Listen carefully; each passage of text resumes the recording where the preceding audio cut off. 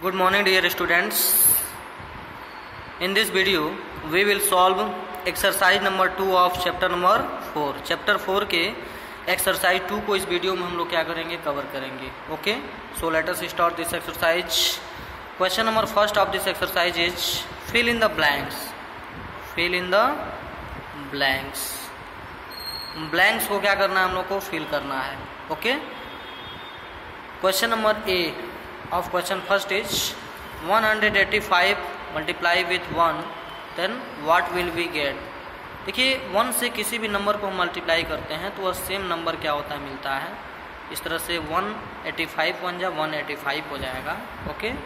उसी तरह से जैसे मान लीजिए यहाँ पे क्वेश्चन इसका बी दिया है, समझ सकते हैं आप लोग। स्पेस दिया है इंटू वन दिया है equal to two hundred seventy दिया है।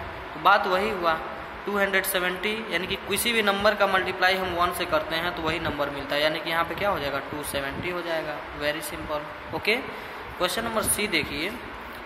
185 okay into zero this equal to space देखिए, किसी भी नंबर का मल्टीप्लिकेशन जब ज़ीरो के साथ हम करते हैं तो फाइनली हमारा प्रोडक्ट क्या आता है? ज़ीरो आता है। याद रखिएगा। ठीक है? तो इस तरह से हम क्या कर सकते हैं? कैलकुलेशन कर सकते हैं। अब हम लोग आते हैं क्वेश्चन नंबर जी पे। क्वेश्चन नंबर जी क्या है? 138 hundred multiply with in bracket 413 into six hundred forty four. This equal to in bracket 138 into space यानी कि आपका empty box into six hundred forty four. तो ध्यान दीजिए ये दोनों ये लेफ़्ट हैंड साइड है और ये क्या है? राइट हैंड साइड है. तो इस तरह का अगर कोई भी आ, नंबर्स दिए गए हों लेफ़्ट हैंड साइड में भी राइट हैंड साइड में तो इसमें हम लोग क्या करते हैं? लेफ़्ट हैंड साइड को राइट हैंड साइड के इक्वल करना होता है। इक्वल तो इक्वल टू का साइन है ही इक्वल कब होगा? यहाँ पे 138 है, यहाँ भी तो 138 है। यहाँ पे क्या है? 644 है, इधर भी 644 है। और यहाँ पे 413 है लेफ़्ट में, यहाँ पे 413 नहीं है। तो जो नहीं है, उसको फिल कर दीजिए। मल्टीप्लिकेशन में इस तरह से जिसकी ज़रूरत होती है, उसको फिल कर देते हैं। जिसका मतलब जैसे मान लीजिए दोनों मैच कर गया राइट हैंड साइड में ये नहीं मैच कर रहा है तो इसको क्या करिए यहाँ पे फिल कर दीजिए वो नंबर हो जाएगा। ठीक है? अब हम लोग आते हैं क्वेश्चन नंबर टू पे। Multiply the following in three different ways देखिए यहाँ पे जैसे क्वेश्चन दिया है question A five into eight into four इसको तीन तरीकों से हमको क्या करना है? मल्टीप्लिकेशन करना है, तीन तरीके से। तीन तरीका वह क्या है? जैसे मान लीजिए स्टार्टिंग में पहले दोनों का, इन दोनों का मल्टीप्लाई कर लीजिए। First way. ओके? यहाँ पे क्या हो जाएगा? फाइव इंटू एट इसको एक ब्रैकेट में ले लीजिए इंटू फोर कर लीजिए। तो क्या हो जाएगा? फाइव एट जा, फोर्टी। ओके? और इंटू क्या हो जाएगा? फोर। अभी है ना? इन दोनों को पहले हम ग्रुपिंग किए हैं। अब यहाँ पे मल्टीप्लाई करेंगे तो क्या होगा? फोर फोर जा सिक्सटीन और ज़ीरो है तो ज़ीरो लिख दीजिए। वन सिक्सटी आपका आंसर आ जाएगा। ये फ़र्स्ट वे था। उसके बाद से सेकेंड वे। सेकेंड वे में हम क्या करें? अब इन दोनों की ग्रुपिंग कर दीजिए। यानी कि five into eight into four कर दीजिए। ठीक है? दिस इक्वल टू यहाँ पे क्या हो जाएगा?